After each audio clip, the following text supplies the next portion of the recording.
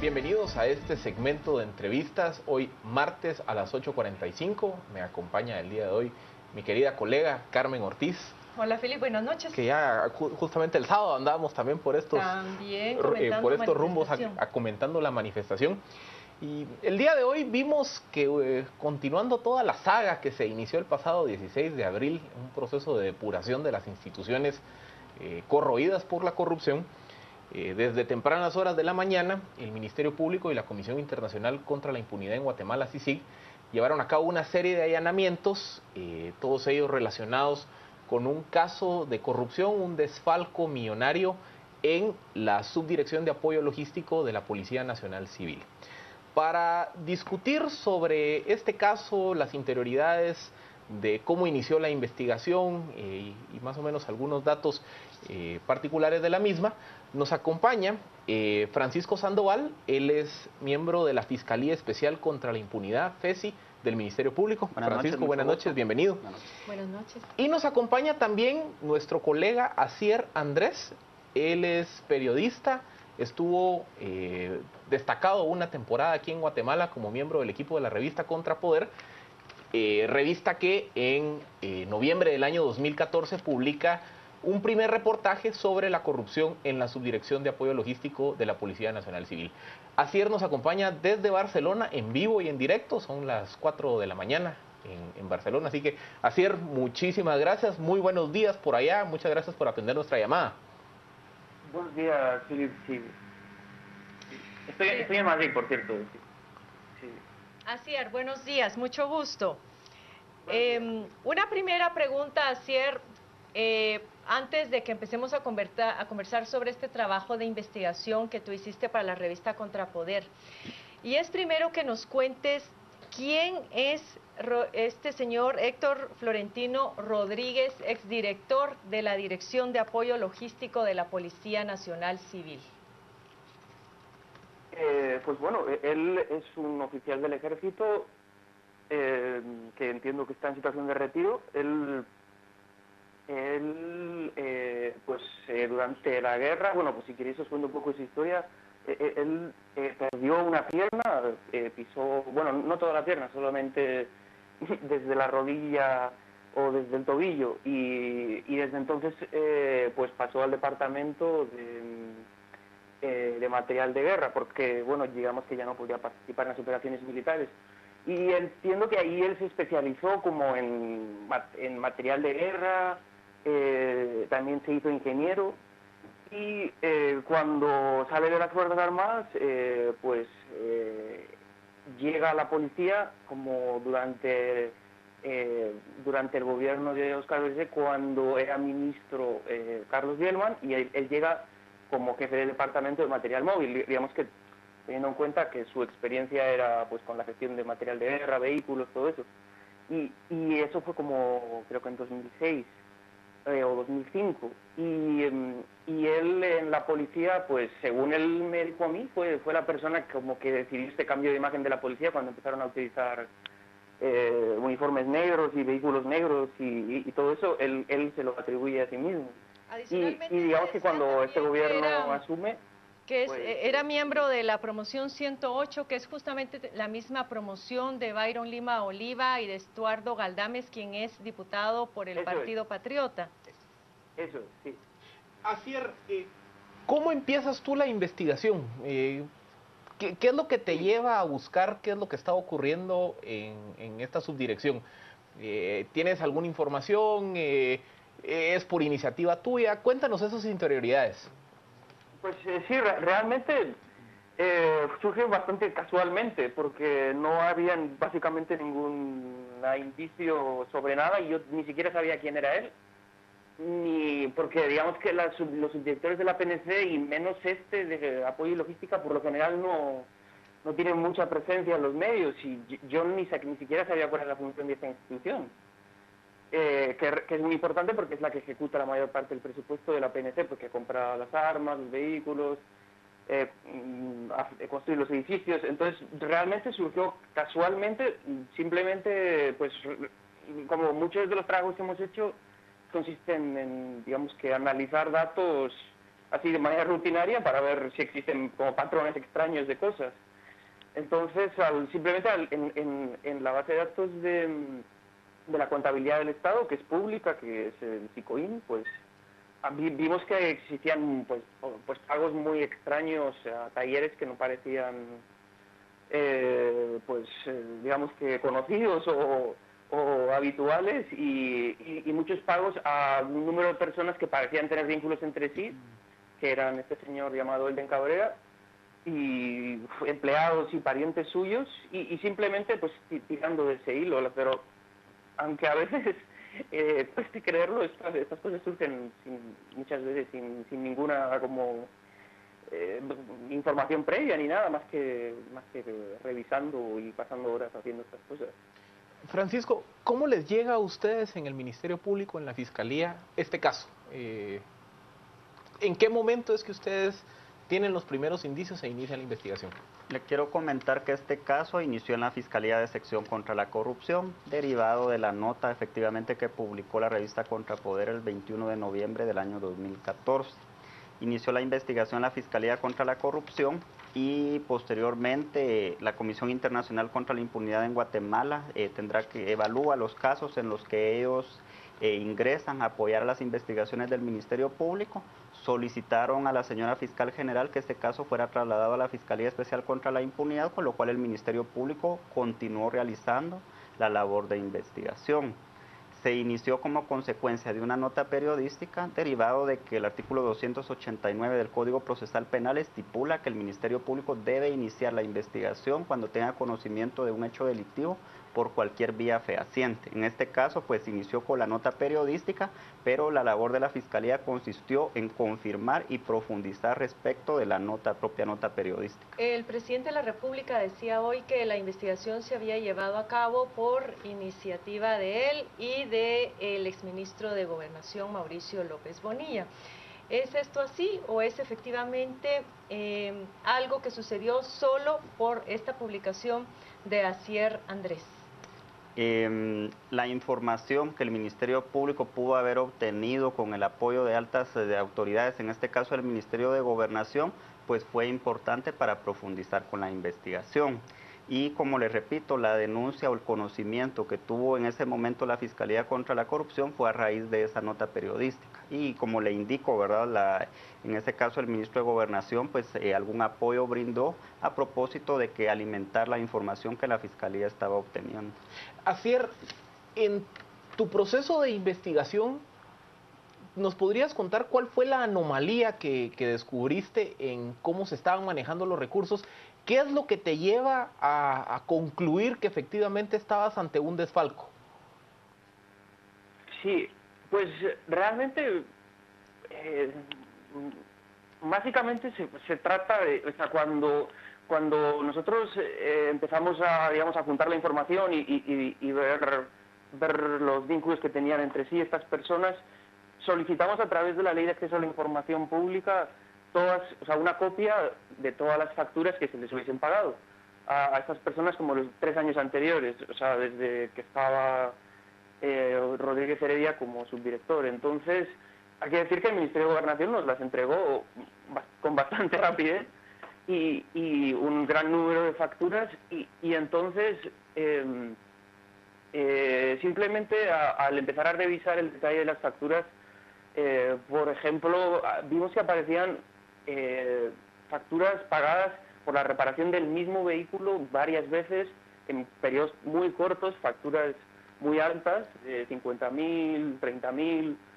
quetzales, que de, un, mismo vehículo que, claro, parecía muy extraño que a un mismo vehículo, en un mismo vehículo se hubiese invertido en el mismo año, en, en unos solo unos días, pues 100.000 o más quetzales. Entonces, ahí, ahí fue cuando empezamos a entender que quizá, o sea, aparte que resultaba evidente que esas, esas, esas, facturas estaban pagando a, empresas que, digamos, que tenían algún tipo de favoritismo por parte del Estado, pero que además los servicios no se estaban prestando, porque parecía muy poco probable que, que se hubiesen prestado. Y, y efectivamente, claro, e, e, eligieron servicios que es muy difícil de verificar si se han prestado o no, como es reparar un vehículo. eh, o, por ejemplo, la compra de repuestos, que en ese caso nosotros en la nota pues, no pudimos demostrar o afirmar que, que, ese dinero hubiese sido robado porque eh, era imposible seguir el rastro a, por ejemplo, a, todas las llantas que compraron, eh, baterías, porque o sea, ingresaban en inventario, pero era, era imposible darles, darles ningún seguimiento. Entonces, eh, fue, fue básicamente por esta historia que te cuento de, de, de, los, de, los vehículos que, se reparaban dos y tres veces. Licenciado, sobre estos hallazgos también se sabe que estas empresas, que eran cinco empresas las que estaban desviando esos fondos, em, también supuestamente realizaban remozamientos o mm, algún tipo de mm, eh, eh, reparaciones a estructuras de edificios y demás de las comisarías, pero que posteriormente se dieron cuenta de que esos trabajos eran cobrados pero eran realizados por el mismo personal de la Policía Nacional Civil. Ustedes al parecer confirman esta información, pero también hablaba de que tenían que confirmar la información que era producto de este trabajo de investigación de ACIER y ver si encontraban algún otro dato adicional.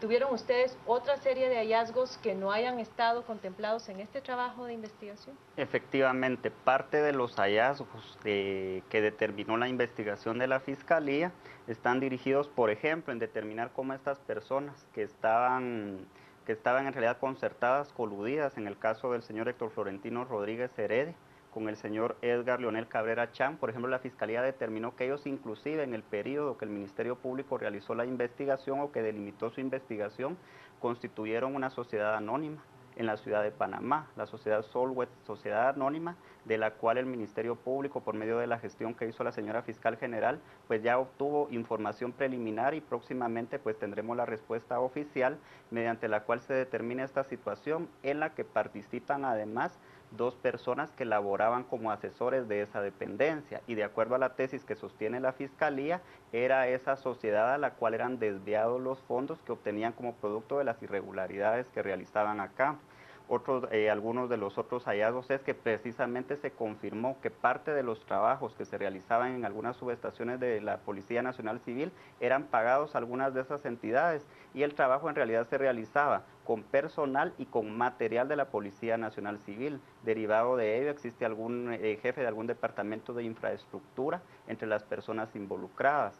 Confirmó la investigación además de que, aparte de realizar compras directas, en algunos procesos que eran de cotización, participaban empresas vinculadas, estaban coludidos con el propósito de obtener el beneficio de esas contrataciones, de esas adjudicaciones.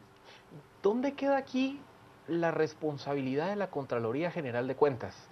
Eh, este debió haber sido un proceso o una anomalía detectable en una auditoría de la Contraloría o es hasta que inicia ya una investigación más profunda que se puede descubrir que había anomalías. E, ¿Era algo que alguien más se debió haber dado cuenta? Las auditorías que realiza la Contraloría General de Cuentas tengo conocimiento que son aleatorias. No obstante, ellos en este momento, pues de conformidad con las funciones que tienen, tendrán que coadyuvar en la materia que les corresponde para determinar y confirmar esos hallazgos que ha realizado la Fiscalía. Eso sí, yo respondo por lo que realizamos los fiscales de la Fiscalía, ¿verdad? No, no sé hasta en cuánto ellos pues tendrán que determinar cuál es la labor a realizar en el presente caso. Ahora bien, este señor Héctor Rodríguez era subdirector. subdirector. ¿Qué hay del director?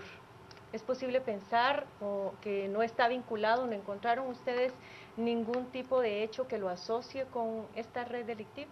En la delimitación que la Fiscalía ha realizado de los hechos que han sido objeto de investigación y pues tendrán que imputar la Fiscalía, son hechos comprendidos entre el 31 de julio del 2012 y el 15 de enero del año 2015 por el tipo de eventos que se refiere a eventos de cotización y compras directas hasta el momento, pues estas son las personas que actualmente ha arrojado la investigación, sin perjuicio que la Fiscalía en su labor pues tiene que continuar determinando quiénes, si existen más personas responsables. Yo quisiera hacerle otra pregunta a Asier. Asier, cuando se hizo esta publicación el 21 de noviembre del año pasado, un grupo de hombres compró de manera muy coordinada y articulada la edición completa de la revista Contrapoder. ¿Tuviste tú algún tipo de amenaza o intimidación por este trabajo de investigación que habías hecho? No, no, en absoluto, sí. Aunque hay que mencionar que cuando salió publicado yo estaba viviendo en España ya. Pero no, en todo momento, la verdad es que eh, incluso hablando con el subdirector Rodríguez Heredia, pues eh, siempre fueron muy, eh, muy amables conmigo. Me imagino que no pensaron que iba a llegar tan lejos este asunto, claro. Sobre todo llama también la atención esto, es decir, sale la publicación, compran todas las ediciones, después de eso el periódico en el mes de enero también saca un tema relacionado en una de sus publicaciones y aparentemente estos señores estaban muy cómodos y muy seguros de que nada les iba a pasar. Eh, ¿Creen ustedes que efectivamente esto hubiera pasado desapercibido? Porque tengo entendido que la Fiscalía contra la Corrupción fue la primera que lo tuvo bajo su cargo.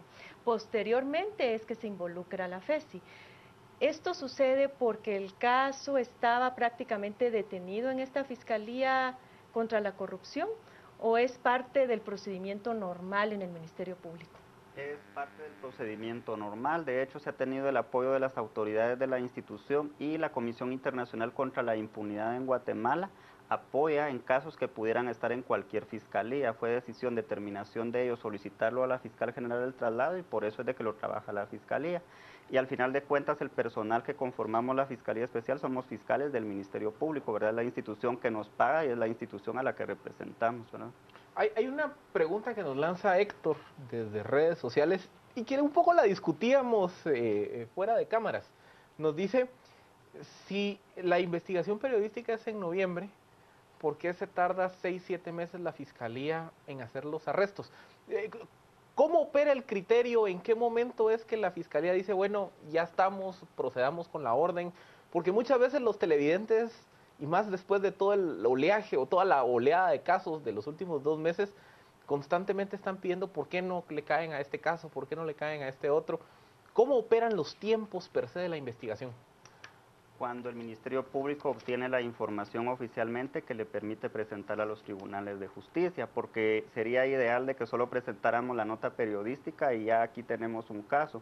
Por el contrario, como le decía, tenemos que confirmar vínculos, descartar vínculos, porque en muchas ocasiones, y no me dejarán mentir, de que existe información que se proporciona a los medios de comunicación que ustedes mismos la tienen que confirmar.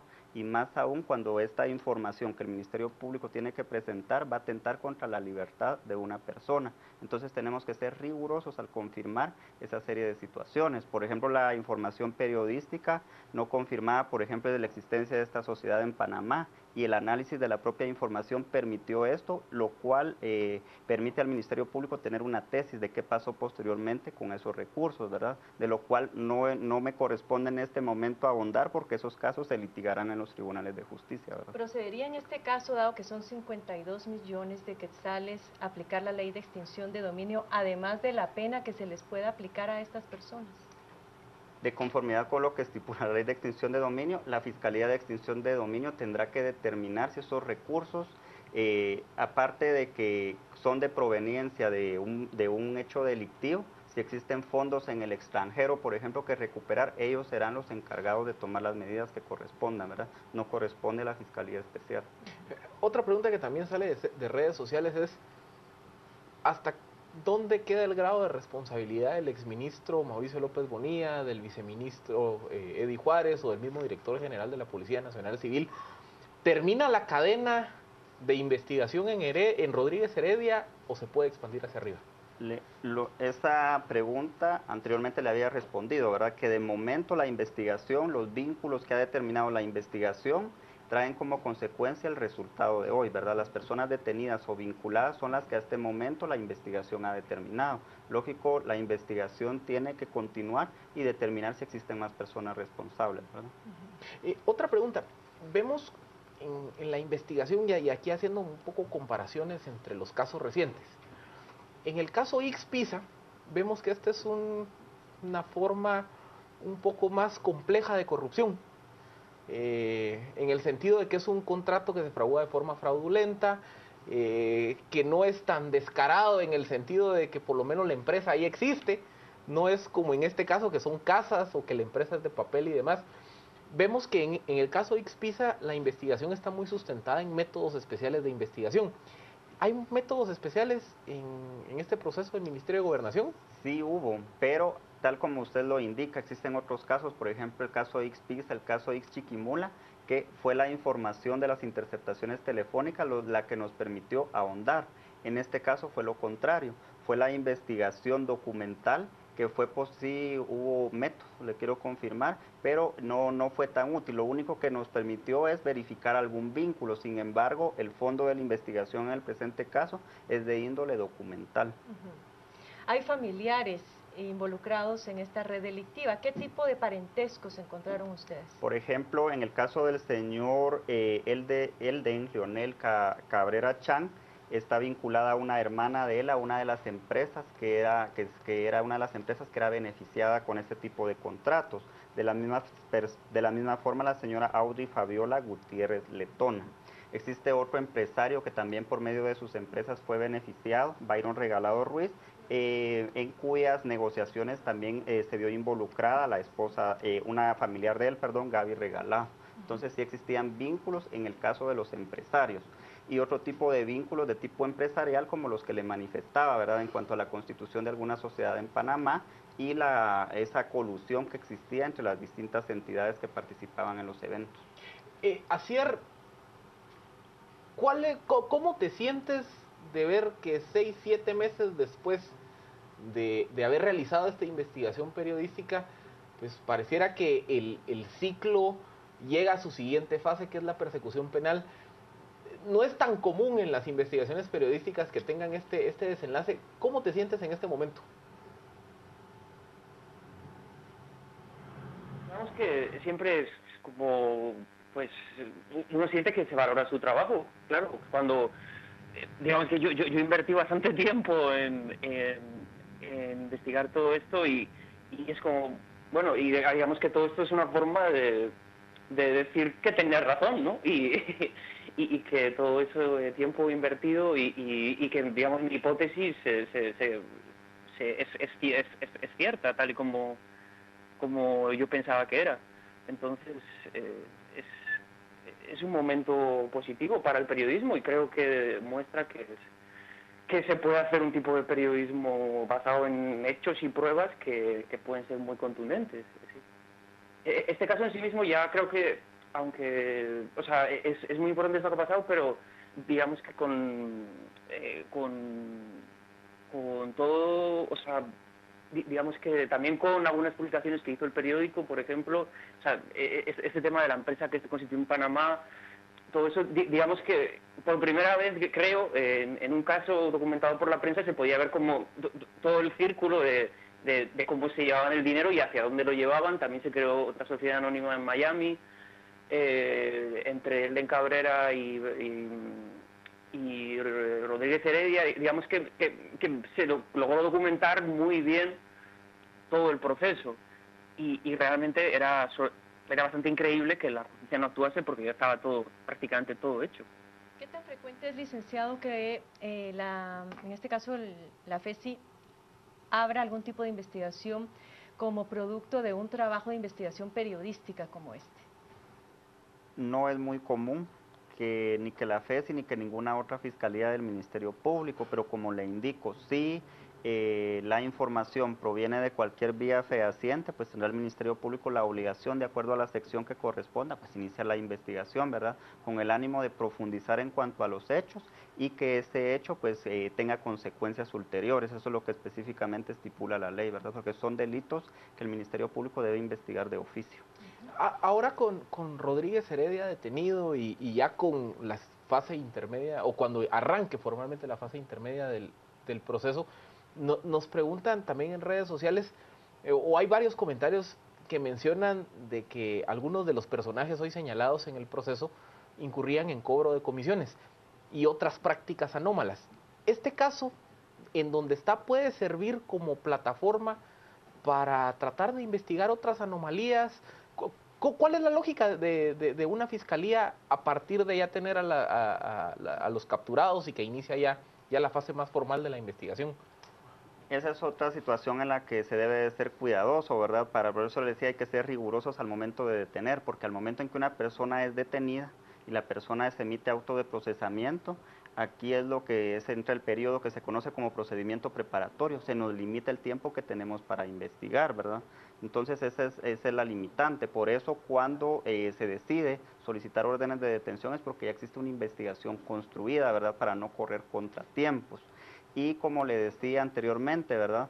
Eh, si bien es cierto, respecto de estas personas, la investigación pues tendrá que finalizar en el periodo que el juez señale en caso se liguen a proceso, pues las investigaciones continúan, ¿verdad? Porque hay que profundizar eh, por ejemplo, le decía, hay una sociedad en Panamá, hay que profundizar en cuanto a qué pasó con los recursos, que otras personas están involucradas y si existe otro tipo de eventos acá en la propia subdirección acá en Guatemala. Entonces la investigación continúa. No hay duda de que el próximo reto, como lo fue en el caso La Línea, será ver quién va a ser el juez que va a tener a su cargo eh, este proceso legal para que no vuelva a suceder, digamos, tanto esfuerzo que se ha hecho, no solamente este trabajo de investigación periodística que aprovechamos para felicitar a Sierra Andrés por su contribución, eh, sino que también el caso que ha, o todo el proceso que ha llevado a cabo el Ministerio Público para poder llegar a este punto y que muchas veces es en los tribunales de justicia en donde encuentra el principal obstáculo, el principal riesgo para que finalmente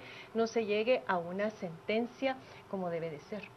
Exactamente, entonces nosotros pues confiamos en el trabajo, por ejemplo, en el apoyo que nos brindó la comisión, confío en el trabajo de mis compañeros fiscales, confiamos en que los jueces tendrán que cumplir con su labor, como confiamos hoy, por ejemplo, con el apoyo que nos brindó el Viceministerio de Seguridad, ¿verdad? Entonces, como funcionarios públicos, pues debemos de sentir esa confianza y esa seguridad. Y lógicamente, si en algún momento de ese camino, ¿verdad?, procesal, detectamos de que existe algún hecho delictivo, pues lógicamente el Ministerio Público tiene que cumplir con su función, ¿verdad?, de señalarlo como auxiliar de los tribunales de justicia. Se nos ha agotado el tiempo, licenciado Sandoval, muchísimas gracias por habernos acompañado. Esperamos que nos esté acompañando también próximamente. Y eh, también un saludo a Sierra Andrés hasta España eh, y nuestras cordiales felicitaciones por este excelente trabajo periodístico que hoy eh, llega a otra fase más con la detención de algunos de los implicados. Felicitaciones a Cier y muchísimas gracias por atender la llamada. Vamos, vamos con Juan Carlos Sandoval, quien tiene algunos comentarios de redes sociales. Gracias, Philip. Vamos a las redes. Nos dice Juan Manuel, nuestra institución más ineficiente es la Contraloría General de Cuentas. Allí hay que hacer cambios. Cris y López Bonilla no está involucrado. Raro, ¿no? Eh, Héctor nos plantea cuál fue la respuesta del MP y CICIC de la nota, por qué se demoró tanto el proceso para los arrestos. Otto, si por de una nota periodística se comienza una investigación, ¿qué pasa con las denuncias que hacen en las manifestaciones? Es lo que nos plantean. Eh, y cada uno de los eh, ministerios ocurre. Departamentos de compras son las personas seleccionadas, seleccionado tienen, dice. Y Carlos, si los periodistas no denuncian, el gobierno encubre a los corruptos, es lo que plantea Carlos de León. Vamos a la pausa. Al regresar tenemos una segunda entrevista. Quédese con nosotros en Noticieros de Canal Antigua a las 8.45.